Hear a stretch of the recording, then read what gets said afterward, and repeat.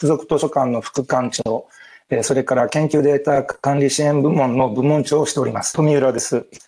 でその関係で、え研究データ管理の支援に関わっておりまして、え本日はこのようなタイトルで講演させていただきます。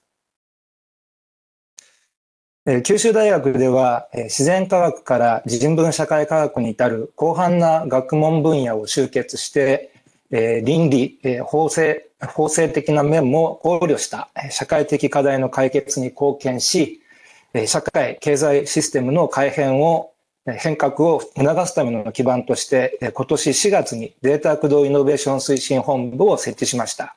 ミッションは2つありまして、1つはデータ駆動の教育、研究、医療を全学的に展開することです。もう1つは、新たなデジタル社会のあるべき姿を、え提案するというものです。データ駆動イノベーション推進本部は、DX の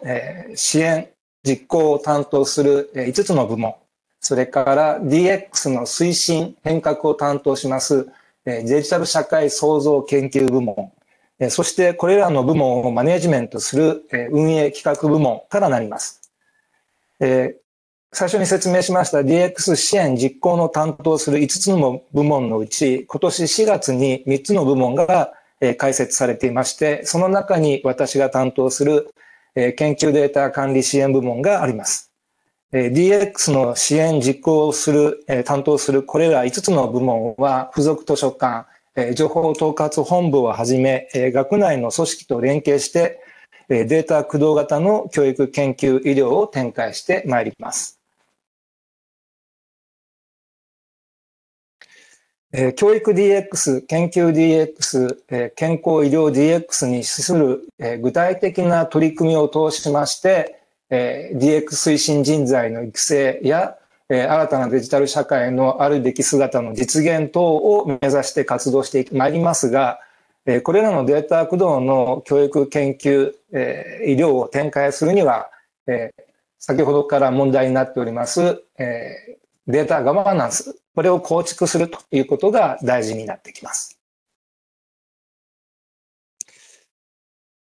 研究データの管理、公開等の取り扱いに関する組織の考え方を記述したものがデータポリシー。えそして研究データの具体的な取り扱い方法を記述したものがえ研究データ管理実施要領えで、特にこれは、あの、分野や部局によって扱い方違ってきますので、えそれぞれあるということになります。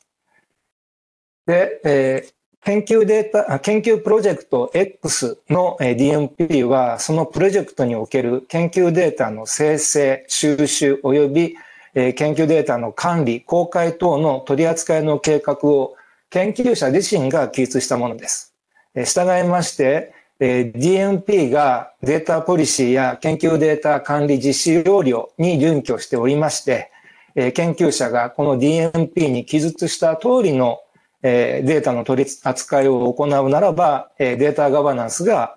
保証されます。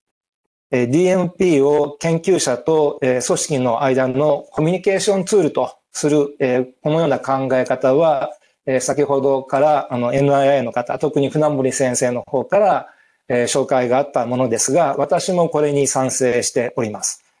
研究助成金の申請に際して DMP の提出が徐々に義務化されていっておりますが、DMP は助成金獲得のための手段ではなく、やはりガバナンスを働かせる、それから研究者にとっては自分自身の研究をスムースに行っていくために必要なものだというふうに考えております。しかし、ここで問題がありまして、データガバナンスが働いているということを保証するためには、作成した DMP がデータポリシーや研究データ管理実施要領に準拠していることを研究者自身が保証する、あるいはチェックする必要があります。組織側も提出された DMP がデータポリシーや研究データ管理実施要領に準拠していることを確認しなければなりません。また、研究者は DMP に従ったデータの管理、公開ができているか、それをチェックしなければなりませんし、大学側も同じチェックをする必要があります。でこれは研究者、組織、双方にとって大きな負荷です。特に大学側の方は、すべての研究者の DMP のチェック、それから DMP に従った管理、公開ができているかのチェックが必要であり、非常に大きな負担となります。えーマシンアクショナブル DMP を利用して DMP に従った管理公開を、えー、ある程度自動化することが、えー、先ほどあの NII の方から紹介されておりました。えー、実現すれば DMP に従った管理公開が、えー、できるかのチェックの、えー、負担は非常に減ります。えー、この点 NII に大いに期待するところです。えー、これでもまだえー、データポリシーや研究データ管理実施要領と DMP の整合性のチェックが残っておりますが、えー、この整合性のチェックもある程度自動化できるのではないかと思います。いわば、えー、マシン、えー、アクショナブル DMP に合わせればマシンアクショナブル、えー、データポリシーとでも言いますか、そういう、えー、枠組みをえ NII の方で開発されていかれることを期待しております。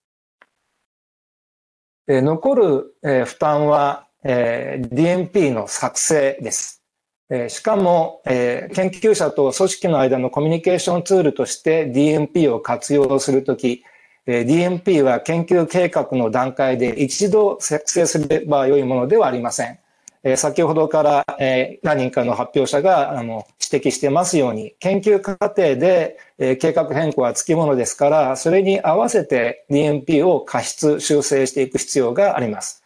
えこれを確実に行うための仕組みが、え考えられないかなと、え思っております。で、私は、え電子実験ノートと、え DMP の連携にその可能性があるのではないかと考えています。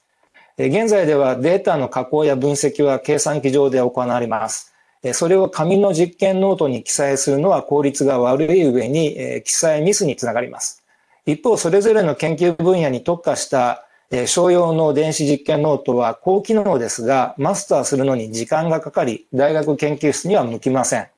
必要最小限の機能に限定し、多くの分野で利用できる電子実験ノートが開発されることを期待しています。データファイル間の関係、つまり入力データ、処理プログラム、出力データ、これだけを実験ノートに記録するわけではありませんが、